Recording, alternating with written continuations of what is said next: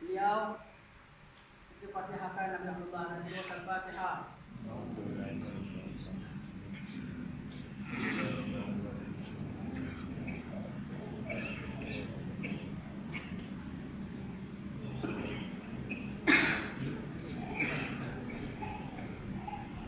Beliau adalah anak kepada Habib Abu Bakar Sakran cucu kepada Habib Abdul Rahman Sakaf tadi. Beliau dapat gelaran Ali Idros ini dengan Idros Semahi Sinu pasal dia berani. Dengan jin dia tak takut dengan orang jahat dia tak takut dengan apa takut berani sekali. Ala ala panas kesian ha? Al Idros beliau adalah Al Idros yang pertama sekali dapat menyandang gelaran Al Idros Beliau masih kecilnya, atuknya Habib Abdul Rahman Sakaf dah bilang cucu aku akan jadi wali besar, jadi pemimpin wali pada zaman dia. Segala asrar Bani Alawi ada pada dia. Dan ada sir-sir baginda sallallahu alaihi wasallam juga ada pada dia akhlak dan tingkah. Beliau ada rumah, ada kebun apa semua. Tapi menjadi kebiasaan tidurnya di mana? Tempat sampah. Bagaimana Nabi Isa alaihi salam, Nabi Isa tak ada rumah tau. Nabi Isa tidurnya tempat sampah.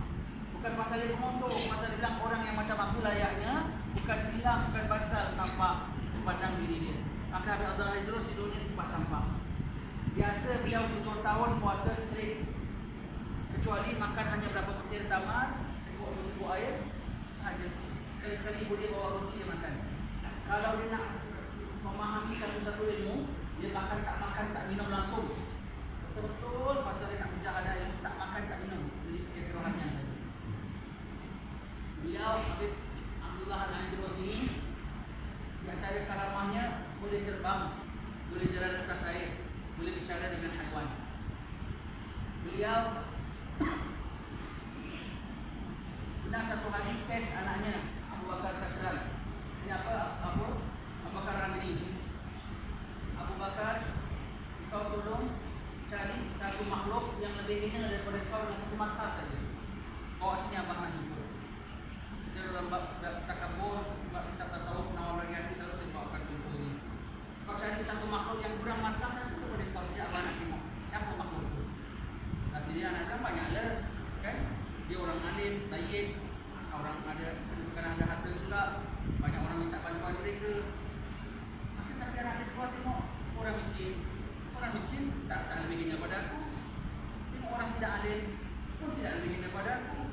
Jumpa orang kafir, sekarang ni kafir kalau disuruh dia masuk Islam tak menjadi tak menjadi bina daripada aku.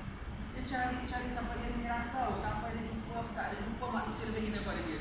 Semua dia nampak lebih mulia pada dia. Sampai penghabisan dia jumpa seekor anjing. Nampak anjing, ah anjing aku rasa kau lebih hina pada aku lah. Sebab kau anjing kena kau satu kena aku tak payah satu. Bolehlah aku bawa kau jumpa bapa aku.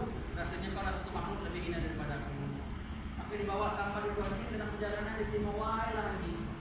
Kalau nanti masyarakat selamat aku seberang satu mustaqim, baru aku lebih mulia pada kau.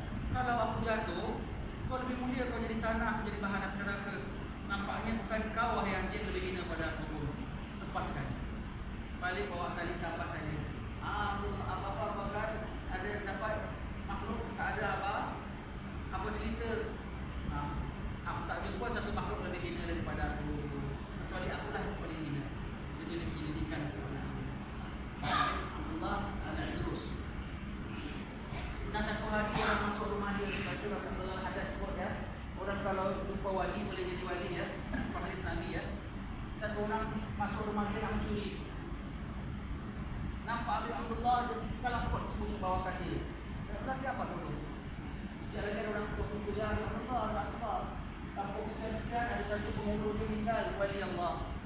Belum ada pengganti. Tak ada Allah bantu boleh macam mana? Angkat balik nanti aku atau orang lagi ganti wali di situ. Ni tak jadi penghulu kecuali wali Melaka tau tu zaman. Aku orang pun balik lah. Kan Allah bikin apa? Ada pencuri bawa kata tadi kan? Suruh keluar. Ha, keluar keluar sudah. Dua pencuri tu. Aku dengar tadi kan, kampung sana tak ada satu wali kan. Sekarang kau aku arahkan jadi wali kampung itu. Kau dia keluar orang ni keluar dah jadi wali Allah.